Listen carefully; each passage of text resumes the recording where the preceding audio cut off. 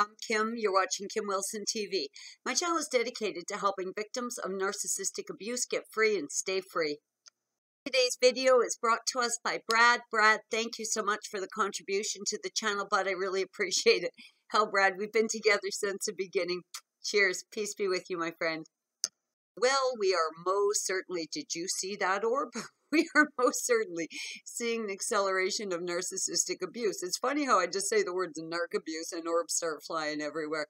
Anyways, I was at Facebook for a few minutes chatting with my son, and a lovely woman by the name of Lisa pops up and says, Hey, Kim, I don't know if you know this, but my ex narc is on your friends list. Oh, shit sure enough, you know, I do accept uh, far too many friends' requests just because I assume it's someone from the channel. Now, this dude has been, you know, sending that wavy message to me and highs and things like that. And you know, I really uh, don't reply a lot to the men because I just assume it's part of that whole weird algorithm, you know, stalker spam thing. But sure as hell. So uh, for any of you wondering if your narcs are tracking you, uh, go right ahead to Facebook. I'll leave a link to my Facebook page under this video.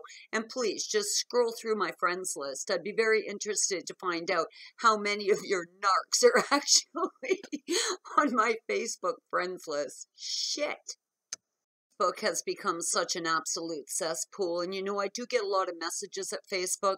Uh, sometimes I reply, but more frequently I don't. And that's just because I'm not sure what tracking capacity Facebook has. And I just feel a lot safer here at YouTube. The experience so far has been a lot better just want to take a moment to thank you guys. Man, you guys have been my lifeline. The channel has already crossed over its one year anniversary. And when we did that, we crossed over to 2 million views. 2 million views. Outrageous. We've been swarmed with orbs. We have over 10,000 subscribers. And day after day after day, whether it's in the emails, the comments, or during phone calls, I am informed that one more, one more victim got free. One more victim found the courage to get out. And what allows that to happen, what really fosters that freedom, that strength that we need to get away from these things is this collective. Absolutely. It's us together as a group, united. Now, if you guys remember around this time last year, we also experienced quite a tremendous increase in narc activity, narc abuse, hoovering, uh, a tremendous amount of future faking. Abuse seemed to be accelerating. And I do believe that this is directly in line with the upcoming Christmas holiday season absolutely hate the holidays and they're going to do everything in their power to throw a monkey wrench in your special time with your family. So if you're being hoovered right now, man up. You are the resistance. Make sure you keep that fucking thing out of your life with so many of us waking up this vast, huge global awakening where people are just snapping out of it. Even people who have spent an entire lifetime suffering from the abuse these horrible narcs inflict on us. They're waking up and not just waking up to the current situation that jarred them awake, but really waking up to in many cases really looks like a lifetime of narc abuse. And I will tell you, as a result of this collective and the tremendous outpouring of self I mean, you guys have broken every single barrier. You have stepped up. You have bravely told your stories. You have reached out to one another. And we all together, collectively holding hands, have pulled each other through. And I will tell you, I've had a bit of a weird awakening myself. Um, I guess for many empaths, we accept cruelty. We accept horrible people believing that in life there's just good people and bad people. Well, I think we've come to realize that's not the case. And I too, like so many of you, am now recognizing abuses um, stemming back well into my childhood. And that for me has been a bit incapacitating. It kind of blew every theory I had on that good people versus bad people thing and really have come to realize that this is a war. It's us against them. It really feels like that to me, and that has been confirmed by you guys over and over and over again. So just be very mindful of new people coming in your life. If you are now starting to recognize that you have likely been a victim of narcissistic abuse uh, throughout your lifetime, uh, if not steady, certainly in periods as I've come to realize. Uh, it's it's quite soul crushing, but uh, in that there is nothing but strength and power in acknowledgement, recognition, education, and the unity that we all share together here. If you're just waking up to the reality that you are a victim of narcissistic abuse, that you were targeted by an absolute empty meat suit of a motherfucking demon, it's pretty shocking and very overwhelming. But I'm going to tell you, hang in there. It gets a whole lot better. Uh, even six months ago, telephone conversations really involved a lot of um, sad stories a lot of crying, a lot of sadness being exchanged uh, between me and friends here at the channel, which, of course, as time's gone on, more people have gotten free, more people have come to understand what this thing is. I'll tell you, there's a lot more laughter in the phone calls there's a lot more happiness. I get up in the morning at five every day. I get a coffee.